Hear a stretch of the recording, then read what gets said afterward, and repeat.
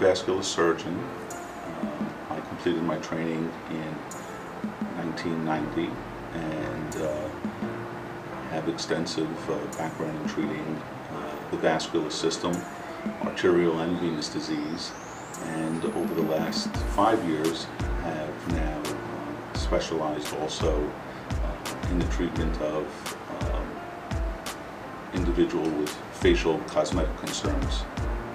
Well, people are extremely happy. They're uh, amazed at the uh, difference that it can make, particularly in men. Uh, it, it, really softens the look of their face, the wrinkles. It, it tends to make them look rejuvenated, uh, feel like as if they've just come back from a vacation.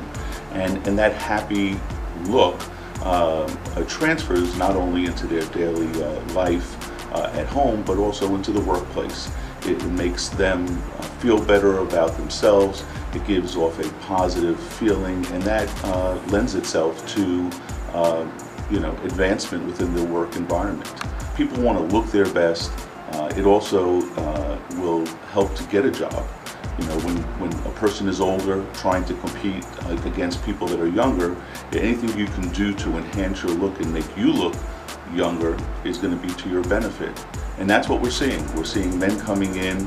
Uh, the cost is relatively low for having these kinds of uh, uh, procedures done. And um, if that can make an impact in them getting a job, you